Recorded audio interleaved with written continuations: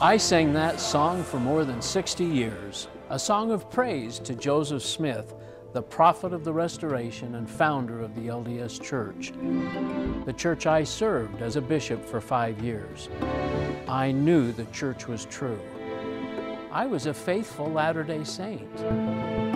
My life has been built on certain truths, but wishing doesn't change the truth. Jesus said, You shall know the truth, and the truth will make you free. When I finally learned the truth about the real history and doctrines of Mormonism, I realized that I was following the gospel of Joseph Smith and not the gospel of Jesus Christ.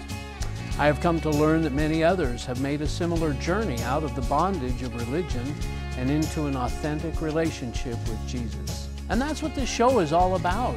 Courageous people who want to share their story, hoping that you, the viewer, will discover the same new life in Jesus. So if you're a Latter day Saint who is struggling with questions or seeking a genuine encounter with the Savior, we invite you to join us tonight. We have a joyful message that we want to share with you.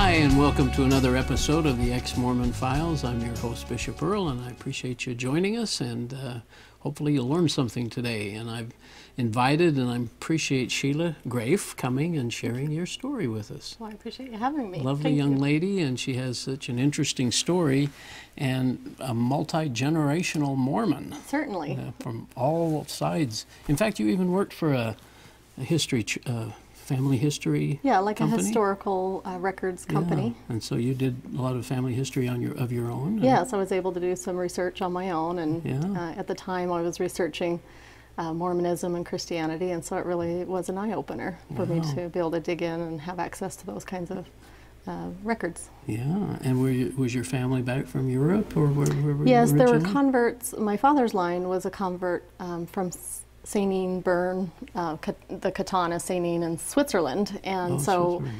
as a matter of fact, it was his um, great grandfather that converted in about 1874. Came to Provo, live in a dugout, and was able Oh, to, um, you know, kind of raise a Mormon family for several generations. And Polygamous? um, you- not not him, but some um, some of the of my father's maternal line was polygamist and out in Spring City, and my uh, mother's side, they went back to England and also New York. They were able to follow, you know, the saints Yeah. across the West, and they came from polygamous roots also. So I actually had it on both sides of my family, both maternal and paternal. My goodness. Yes. Wow, interesting. Where were you born? I um, I was born here in Provo, so I'm I'm Utah, Okay. and uh, born and raised, and really the whole family has stayed here for that many generations. Yeah, fascinating. Yes. haven't had occasion to leave or anything. Not a, not a lot. As a matter of fact, out of my uh, nine siblings um, that my You mother have had, nine, nine brothers and well, sisters? mother had nine children, Okay. and and I actually have two um, stepbrothers, so we have an, a family of eleven. Okay. Uh, but my mother bore nine children, and she we all stayed in Utah primarily, except for I have one older brother that was able to travel with the Air Force. Oh, interesting. and one in California and Nevada, but you know, relatively close Yeah. knit family still.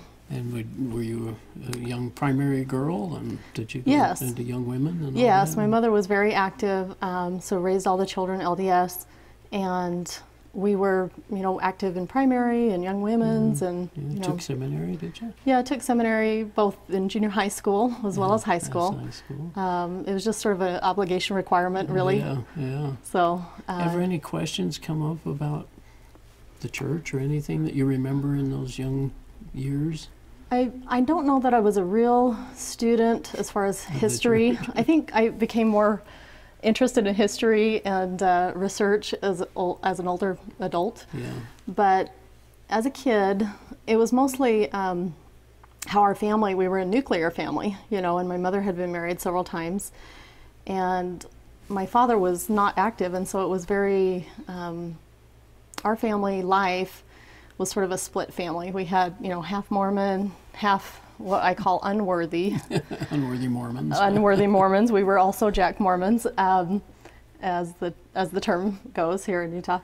And I think most people know that that might just be somebody that doesn't regularly attend or maybe is right. not in is not active but is still considers themselves Maybe. Mormon. Breaks the word of wisdom or Yes. paying their tithing or something. Correct. Yeah.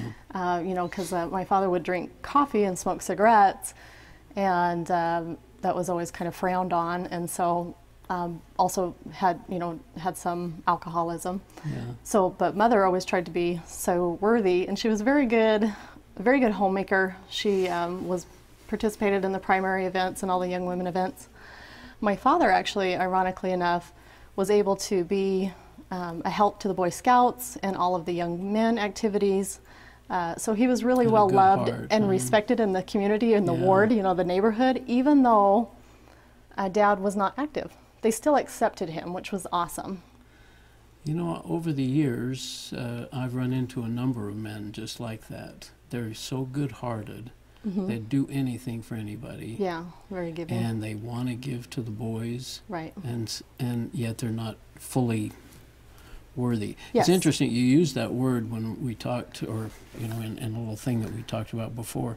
And my wife and I, Carla and I, we actually sat and said, "Worthy." I don't think we ever say that as a Christian. We said that to each other. Yes. I don't think we use the word worthy as a Christian Yes. because it doesn't really apply. I wanted to say that before I forgot it because yes, do you do you sense that too? I mean, of course. I don't quite say the word worthy as a Christian. sure. And now that you know God has um, given me new eyes and, and a new heart, so to speak, and given me His Holy Spirit, I things that I knew of when, as a child, like pre-existence with Mormonism, Yeah. or uh, that all children were the children of God, Yeah. not the ones that were just Right. uh, you know, claimed by in, Right. into his family, into his kin- kingdom, what which the Bible teaches. It was always a worthy or unworthy, and so I had an extreme Oh. amount of guilt. I think most Mormons have a lot of pain and shame about certain sin. and unknowing about where they're headed. I, I believe that's true too. When I think about my salvation, or as a Christian, your eternal salvation, it's completely different in Mormonism. You feel like you're trying, trying, trying, you know, to earn your salvation, earn your righteousness, and earn your worthiness Right. with your, you know, interviews and your full tithe paying and your temple work and such. It's such a burden, and I see it, um, you know, in the women that would visit me, like my visiting teachers. Um, they were just over obligated, you know, and I didn't. Um, luckily, I, I don't have that um, feeling in Christianity. I do serve, but I do it, you know, out of out of love. out of love. Yeah. And I You're don't not- feel obligated if sometimes I can't make it to an activity or if I can't, absolutely. you know, serve in some capacity if I just don't have To the time or I don't have energy. the time. I don't. Yeah. Or, you know, people always need money and want money and Sure. stuff. And just you want to be a cheerful giver is what the New Yes. Testament teaches. And so there's no there's. I've noticed that the judging and the pride is gone, and and it just it's just so much freer. There's a freedom. There is a freedom. Yeah. And you do feel, you know, judged and condemned in a lot of ways if you're not living, you know, the way that maybe the rest of the community does. When I was a child, you know, several decades ago, um, it was very close knit Mormon uh, communities. Sure. You know, the ward was the neighborhood, and It was your uh, life. yeah. especially you know from my county, uh, there in Utah County, and you know there was just an expectation of everyone. Yeah. I, I didn't ever feel like going on a mission, however, and I didn't ever feel like um, actually getting married in the temple because I, Oh, I just couldn't understand temple Yeah. marriage um, because of my family. I just it did never made any sense to me to be married in the temple. There is a practical problem, it seems like, with a lot of marriages and, with the temple and who's married to who and uh, so on. What did you notice? Yeah, well, because um, I know my mother uh, maybe still suffers from the idea that her last husband, uh, my father, uh, never was worthy enough to be married in the temple, although he took on a large family and, and raised everyone, including you know the, the last three and the stepchildren. I mean, he just provided for 11 children. Wow. Really good, solid guy, you know, kind of a Renaissance man, but just never had that temple worthiness Right. and really never wanted the temple worthiness. So that could be part of why I never really completely considered temple marriage. It- It probably because I knew my parents hadn't done so, and so it just it wasn't a as a solid idea as some Oh. Mormon families that might not be as mixed. Yeah. Did you have, did you feel the church was true and had a testimony? So I had a testimony um, of the church and also of Joseph Smith, but I also feel like because I was raised that way Yeah. in the Mormon uh, religion, that it just came as part of the program. So I don't know if I had a deep uh, heart feeling um, or loyalty to Joseph Smith, but I did bear my testimony Yeah. uh, you know, that it's sort of cliche that I know the church is true and that the prophet Joseph Smith, you know, is a true prophet and whatever, whoever the main uh, current or prophet, current yeah. prophet is. Yeah. But um, as I grew older, because I myself, because of sin, because I myself was not worthy, you know, I had a lot of shame attached to even really going into a Mormon church. Um, I remember when my children were young, I tried to go back to church for a while, Yeah. and um, it, it it just it didn't fit. It just never fit. I think God was calling me all along to a Christian church. Um, he had me involved with the Boy Scouts, as my uh, young oldest son was a young Cub Scout, Yeah. and it was with a community church there locally in Provo. Um, and so I think God was always kind of calling me into a relationship with Him, but I wasn't paying any attention. Yeah, you weren't listening. Uh, Correct. 100% or Yes, I wasn't. I, you know, sort Kept of was a thinking rebel. The church was true. I mean, you just Well, thinking, that. and also, you know, with the Mormon background, you have a lot of different ideas about uh, what Christianity is. You think that the preachers are saying something that's not true. Yeah. So if I had a television program on, or if I heard a, a Christian pastor speak, it was always, I was always skeptical Mm-hmm. about what they were saying because I mm-hmm. was raised Mormon. Yeah. So I had a hard time trusting Well, the true gospel of Jesus yeah, Christ. Yeah. So you're, well, we don't trust. We didn't trust Christianity. It was just our little net network of Mormons and, Yes. like you said, the ward and the bishop and all that stuff. yeah. So I felt very skeptical So did you about a- Christianity. finally attend a Christian church? I did. It was um, I was into my 40s when I uh, became born again, and um, God really got a hold of me. Actually, maybe I was late 30s, but um, God got a hold of me. I was dating at the time um, a gentleman who's now my husband, who came from a Lutheran background, uh, but also was a rebellious young adult like myself. And so had had some years of rebellion against God, and then uh, became a Christian because of a radio program. He was um, saved by the radio, Really good for praise him. God, and he um, got into a relationship with me because I had said that I was a Christian. Didn't actually relate with Mormonism, but I didn't want to deny Christ. I knew, you know, Christ was was king. I always Good knew for that. you. Yeah. But I, I was really far from God. I really didn't know much about Christianity, and But you- especially but you thought you were one. I thought I was one. Yeah. Because, you know, as a Mormon, you also think you're Christian. Yeah. You just know, well, I believe in Jesus Christ, and so therefore, you know, I'm a Christian. When you when the doctrine is so vastly different, um, your eyes are blinded to the true gospel of Jesus Christ, as I felt. Anyway, we went to church together. Long story. We had a conversation and a actual argument about um, sin and how I didn't think I was a sinner because I was prized too. I had too much pride about being a good person or doing good things, Yeah. and and Yeah, just couldn't a Mormon- admit as a Mormon, we never say that we're a sinner. We're sinner. not- We're we not don't. Perfect, You don't. But you're not a sinner. We we talk about how we're good or how we're worthy or how we, you know, can do so much service, Right. sort of patting ourselves on the back, if you will. Whereas um, in Christianity, you know, it's I know I'm not good. You know, I know I'm not worthy. No, none are good. The Bible You, says. you brought something. Did you have? Oh, it was um, it was a baptismal covenant. Just because my father wasn't um, part of um, the church as far as in the priesthood. Again and all. I, yeah, I believe he was baptized as a child also, Right, but but- um, you know, strayed from the church in adulthood after the the service. Um, so I was baptized by my brothers, and there was um, a baptismal covenant that my um, mother had saved for me, put in a genealogy book for me. So it's sort of rather long, and it's a baptismal covenant. And I think it's interesting. The first, Yeah, the little phrase out of Doctrine from and Doctrine and Covenants, Covenants. 8210. Read that. okay, it says that I, the Lord, am bound when ye do what I say, but when you do not do what I say, ye have no promise, which is really just that um, conditioned, um, conditional love. You know, God Yeah. doesn't really forgive me or love me if Unless- I don't do, you know, I don't abide by the covenant uh, commandments and, and rules of the uh, Mormon gospel. So, Yeah. And he's bound when when we do what he says. And I, sure. that's one of the things that struck me that I could put God in my debt. You know that I had that much power that I could put God in my my debt, and I that that really struck me too. So Sure. now the first time you went to a church, I had. Uh, had this little you you wrote this and I thought it was so good. You said Yes. it was almost liberating and I cried at the beautiful worship music. It was so different than the orthodox singing and preaching in Mormonism. It was almost liberating to hear the preaching of the word, not just speakers on various topics. That's so telling. And then really godly leadership by imperfect preachers and pastors who had biblical training.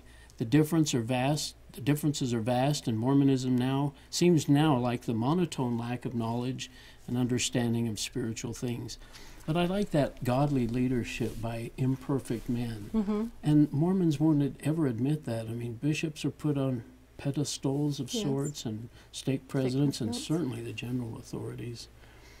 True. So, but how? Uh, talk about the music, though. Did you enjoy that at first? And Yes, I mean when I when I attended my first uh, Christian worship service on a Sunday, I, again it was with my boyfriend at the time, husband now.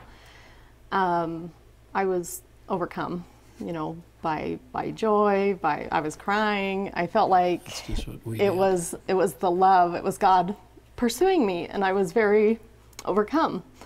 Uh, I am still today, but it's it's a different feeling, and it, and it's really not just about the feelings because I, I know in Mormonism you always had we had these spiritual experiences, and we'd have good feelings, and you'd be overcome and feel like you know you want to go out and help somebody, or you you somebody came to your mind.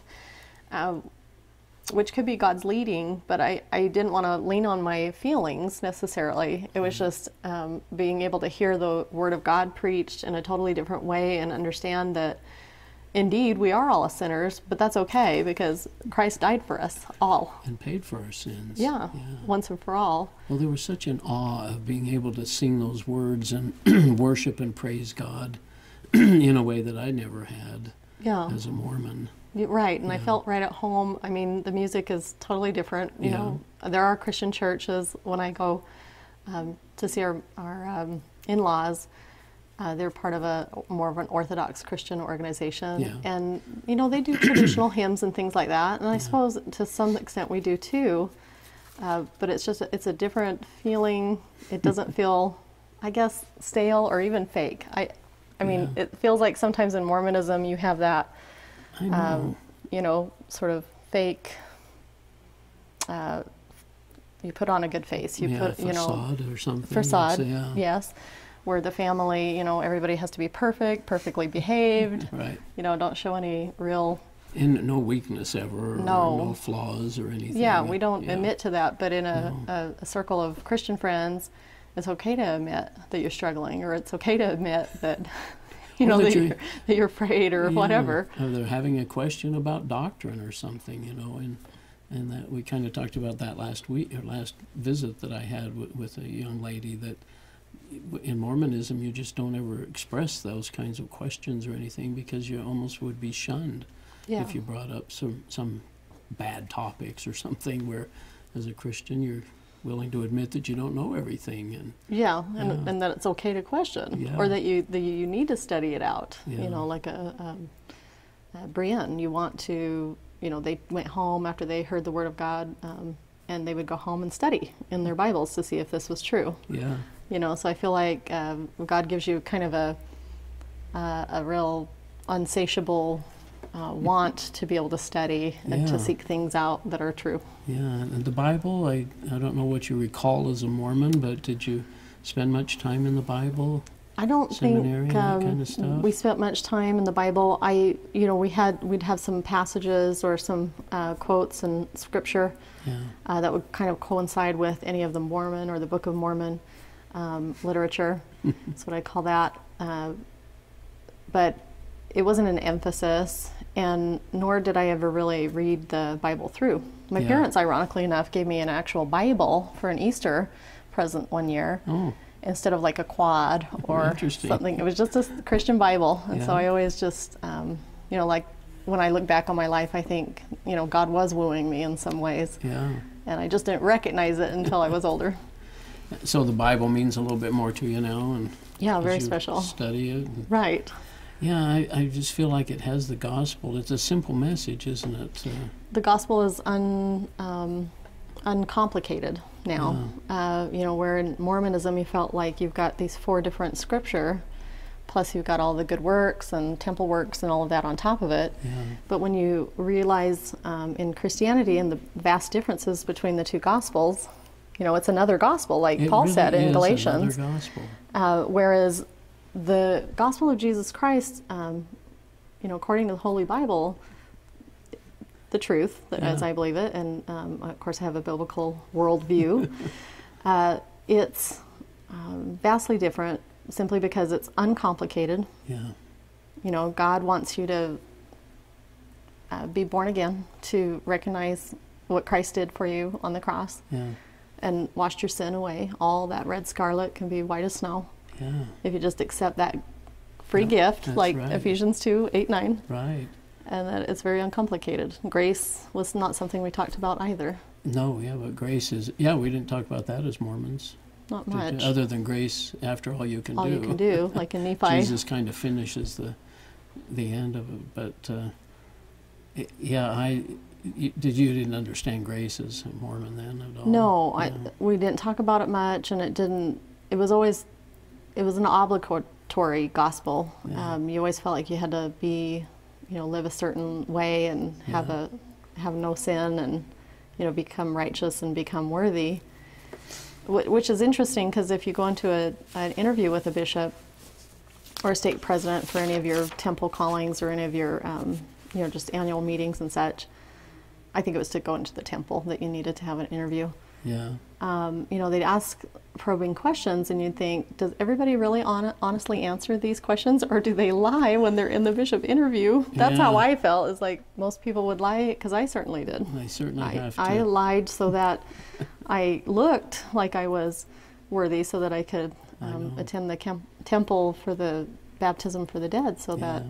I think I that happens a lot. so with everybody can- else. Yeah. Going, kind of getting back to Jesus, but I, I love the scripture of He that believeth in me hath everlasting life. And it's just so simple, so Simple. godlike, I call it, uh, because it is so simple, uh, without, like you said, adding all the other stuff to it. You did say something, though, about grace, and I thought it was interesting. You said it seems too easy for Mormons to understand. Yeah, I, I get the com- comment often from the fam- my family is um, still uh, active. very still. active, and also even the ones that are inactive are very obligated to the Mormon Church, even though uh, they don't attend church. They still subscribe to yeah. the teachings of the LDS, and Yeah. uh, as I talk to them about grace, it's very difficult um, because they think, well, that just means you know that you can do whatever you want because grace has saved you, and so they just it's not a there's not They're a complete understanding. of what that really means. Yeah, difficult to have conversations. Yeah. Um, so I just lead by example. Um, I do have two out of my three children who are actually try, l- l- seeing the differences between Mormonism and. Christianity and have somewhat discounted Mormonism. So I, that's kind of hopeful. Hmm. Yeah, planted some seeds there. And, Yeah, I Yeah. plant the seeds, God waters it, God Yeah. grows it um, because it's for His of your glory. The rest of your family, is it? Well, I am the first um, Christian. I used to say that I was the only Christian in the family, but because um, we have a very powerful God Yeah, who can do anything, um, I've decided that I should just say I'm the first Christian of my Yeah. immediate family. and even, Hoping there's more to come. that's right. that's right. I trust him. Oh, that's good. Well, and, and, a, and a happy marriage and Yes. and you go together. That's wonderful. Isn't Yeah, it, yeah, I've been be- blessed uh, Yeah. with a with a second chance in life, and uh, you know, second chances on God's grace. You know, I feel like He's He really pursued me, and um, really was calling me into the kingdom. You look and- back and see all those little moments when he was tugging at you a little bit. And and and I was rebelling, but eventually, you know, I got there. So he, he, I, I just kind of have to think he has a sense of humor in the in the sense that he, he, he sees us struggling and he knows where, but he also knows what's around the corner. yes, And he knows that you're going to be finding your good husband and that you'll be attending a church and and have that freedom and joy. Well, there's just a minute or so left. What do you have anything you'd want to say to your family? And uh, yeah, that that um, you know that I pray every day that you know something or someone um, can help show them the grace of God. I know that God uh, does it alone, and I don't even pretend to um, you know lead in any Right. way. That He's He's the one that uh, seeks and saves, like in Luke 19:10. But also that um, because I was born into Mormonism, I feel like I, my mind was clouded, my heart was clouded. I needed to um, pursue Him and pursue His truth by learning what the real gospel of Jesus Christ is, comparing it to the counterfeits, and then you will have no problem uh, walking in the way of truth. yeah, I know I've we kind of talk about this in a in a certain sort of way that we know more about Mormonism now than we ever did as Mormons. Uh, Do you find are you in that category I too? definitely am. I did a lot of internet research, a lot of reading. Yeah. Um, uh, both the Wilders um, had inspired me, Shawn McCraney show, your show to a certain extent, and uh, Doris Hanson's show, The Polygamy, What, Love, Is This. Uh, my eyes were opened by all the material that's online to be able to make those comparisons for yourself. Look at the Gospel of Mormonism, look at the Gospel of Christianity, and do your comparisons. Interesting. Don't take my word for it. You know, Oh, study it out. If we've got two seconds, did you ever notice Joseph Smith or Brigham Young's polygamy in, in your ancestry research? Was that Yeah, I mean, I knew they were polygamous and that my family was polygamous, so that always brought questions to my mind as a Yeah. child. So Yeah. again, Mormonism really didn't ever mesh in my heart. isn't that interesting? Thank God. Yeah. well, Sheila, thanks so much for sharing your Thank you. story and uh, you're a delightful young lady. And uh, Terry Long's a great pastor Sure over is. there at Calvary Chapel. and, That's right. Yeah, yeah, I've attended those a number of times, and in fact, we met at a, a baptism here recently over there. Didn't Yes. We? Yeah. Again, I mean, we'd met before, but Yes. yeah. Well, thanks for having me. I'm glad Yeah. I made it I out appreciate and you sharing, and able. yeah, it's it's here. such a joy to and a freedom, right? That you just don't feel, and the guilt, like you say, is is all gone. Yeah, so- the shame's gone. yeah, the shame. God took it Well, I hope people will pay attention to that and even think and just step back a little bit, maybe study a little bit. Right. And uh, we appreciate joining us. Thanks. Thank you.